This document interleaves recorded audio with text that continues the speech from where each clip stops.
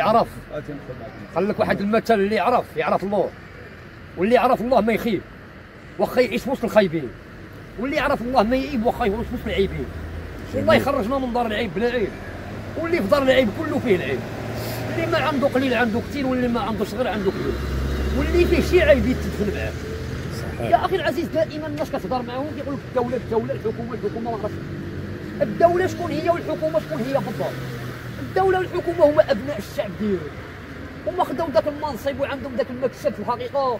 ما ناخذوش الغلط فيهم ما نبقاش نعتوهم بغير الحق ونتهموهم بغير الحق. باش ما نوقعوش حنا معاهم في التهم وكل من في الدنيا في الحقيقة هو في قفص الاتهام أمام الحق سبحانه وتعالى. لولا من يعفو الله عليه ويعفو عن كثير ويغفر كثير ويغفر الذنوب جميعا إلا أن يشرك به. ويدوز الله برحمته. والله الكل منا في الحقيقة ستأكله النيران. ونيران في الحقيقة ستلحقه من الدنيا الآخرة. ولهذا أفعل ما ناخذوش الغلط مع بعضياتنا ونصحوا ذاك الأغلاط وهذا هو الهدف من الصحيح الشريف.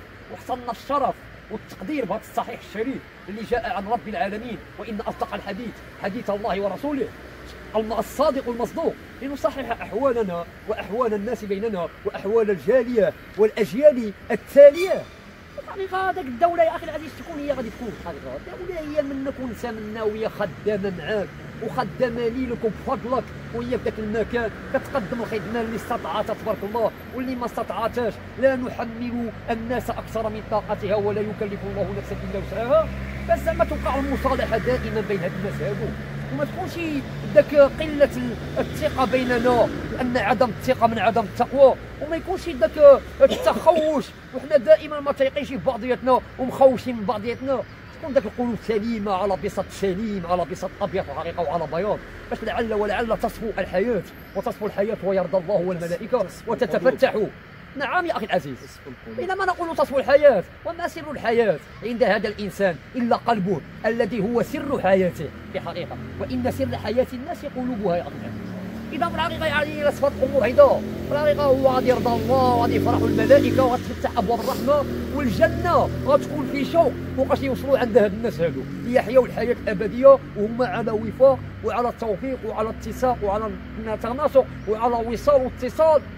والوصال على صلة حقيقة مع الله. صافية سالمة لا خداع فيها ولا خيانة ولا غدر وبالحقيقه ومن يخون أو يغدر أو يخون لا يخون إلا نفسه. يحفر الخبر تحت أقدامه. وتراكم وتراكم في الحقيقة آه، آه، أحوال أتربتها وترابها فوق رأسه وهو لا يدري بهذه الأمور. حتى حتى تتعمق الهوه فيسقط فيها وتهوى عليه هذه الركب فلا ينطمس ولن يعود ابدا.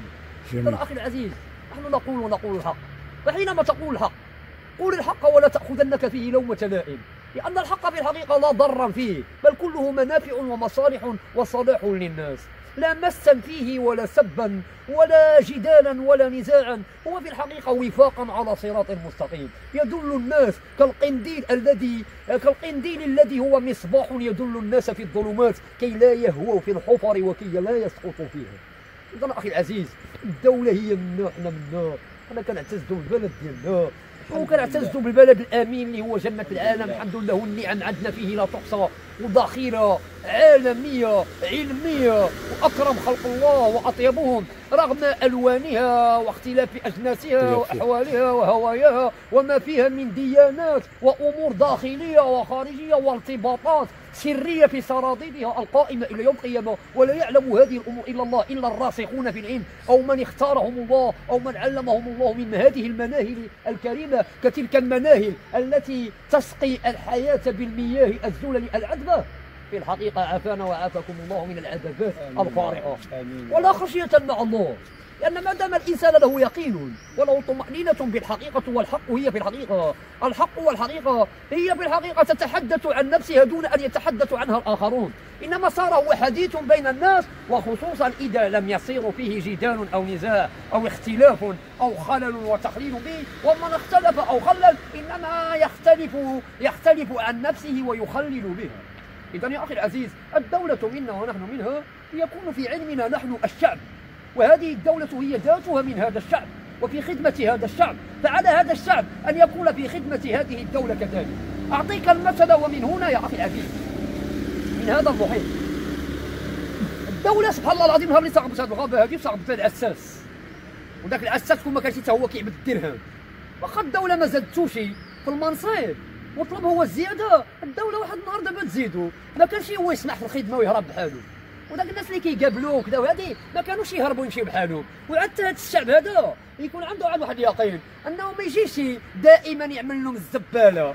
راه كاين اعتدال الطريق والزبل ما يهرسوش يدمروه ويزبلوا العام إذا الدولة يا أخي كترخي لك الكرده حيت نصف الحبل في يد الله ونصف الحبل في يدك أيها الاب فاذا فإذا في الحقيقة لم تشد على هذا النصف سيرى سي سيأخذ الله حبله.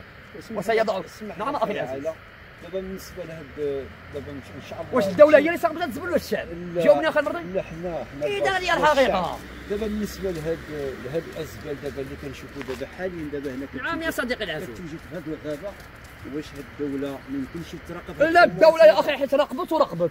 ولكن الدولة من راقبت ورقبت. وصابت هي كتصرف في ذاك العامل يخدم هنا.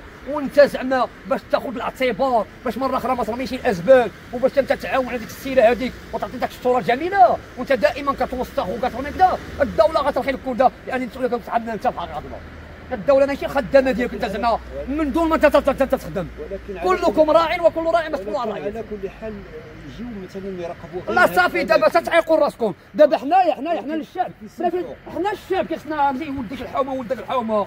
ولد الحومه الاخريه في هذه البلاد. يجمع واحد المجموعة ديال المتطوعين ويدور في البلاد كاملة بحقيقه الله. ينقيو الأزبال ويعطيو ديك الصورة الجميلة باش الدولة تولي تتصالح معاهم. أو لا غادي نبقاو في خصام بحقيقه الله. يعني واحد المشكل. نعم أخي العزيز. كل مشكل كل- عنده حل. كاين كل جرداس كيمشي الثروات ديالو الكراسه باش سال الشام كيدخل من هنايا وهادي عاجبه الطرو عامل شي حاجة عيط ولا عايسيبها تما آه. ما كايناش لا واسمح لي؟ آه. حنا كنشوفوا الدولة نهار اللي صاغبت الجرده صاغبت فيها نعتي الطريريوات وعلقت فيها. لا علقت جاو هرسوهم الشعب ديالي وأنا كنعرفو خربوا بلادي وأنا كنعرفو. يا. آه، خربوا بلادي وأنا كنعرفو بحال كيعرف ناني وسني أخي العزيز. كيخربوا يا أخي المغاربة. كاين هذاك المغاربة الأحرار حقا. ذاك الناس الصالحون. آه ذاك ع- مغاربة العز. ماشي مغاربة الخناسة. حسبي الله ونعم الوكيل. كتقلب حوتة كتخنس السواري واللي كيسوى ما يساوي. كاين بشر خناس. ولكن طريقة بلاتي بلاتي الله يخليك. ماشي نلفقوا ونضرقوا مع اعمارنا وندرقوا حنايا راسنا أو وراء الحجوب. وزعما نحطوها على حمل واحد. ما نحملوها إحنا ما نحملوها الناس كنا مسؤولين الحقيقة هذه والمسؤولية الكاملة كترجع للشعب حقيقه الله كترجع انت وكتبقى ولد الشاب كيخرب العام كيدوز. أوه السيد محشش ولا سكران. ولا مع راسو كيحس بالصحه ونفسه زايغة عليه. ونعوذ بالله من الزيغ والطاغية. كيهرس الطر والزبل وينتف التليفون. ويخرب الدولة الدولة زعما عندها الودنين طوال.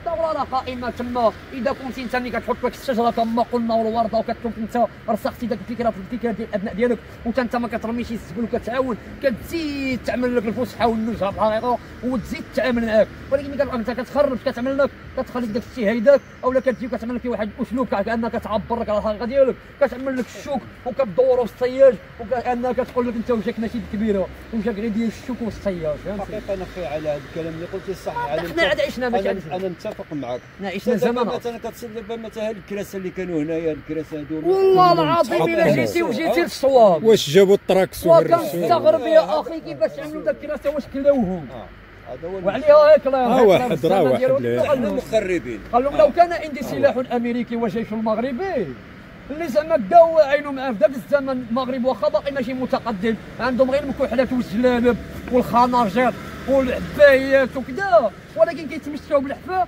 وما كينعسوش بلا وقت وكياكلوا بلا وقت والأرض كيمشيو على الشوك. فهمتي؟ كيغليو هكا. وزعما استغرب قال لهم هاد لي طراكس هادو يعني كيما مصنوعين. أنا والله لو كان عندي هاد الجيش هذا بهذا الشكل هذا؟ هي لا بس أنا كنشوف كيفاش عملوا ذاك الكراسة؟ واش مضغوهم؟ واش قلعوهم؟ من الأسمنت. من الأسمنت. الصحيح ونجوز كيفاش تهدموا؟ ايوا نعوذ بالله من شر ما خلق ومن ما شرور استاهلوا والو حتى حنايا حتى دابا لا حنا كنا غنساهموا كاملين. اسمح لي أخي على حتى حنا بالنسبة للشعب حتى حنا هذه أخي عزيز واحد كاينوب على الجبل. نعم آه. ماشي هنا كنلفقوا ولا كنلبقوا ولا كنبغيو نتشهروا بين الناس. كنهضروا على واقعية. واقعية كنعيشوها كاملين واحد فينا ينوب على العالم كامل. أرنا هاد الضمائر اللي غتسمع هاد الكلام وغدير به. أما غير الحفاظه والعراضه الحقيقة كندخلوا كانت- كاملين المدرسة كنحفظوا كنعرضوا يا ترى. اسمح لي. إذا كانت على الضمائر حية. صافي هذا هو اللي كنقولوه دائما. إلا ما كانت حية راه ما بغاتش تحيا. نقول لك سنستدرجهم من حيث لا يعلمون. حقيقة. راه كل سلسلة عندها حقيقة. غيبقاو ماشيين هيدا حتى غيطيحوا في شي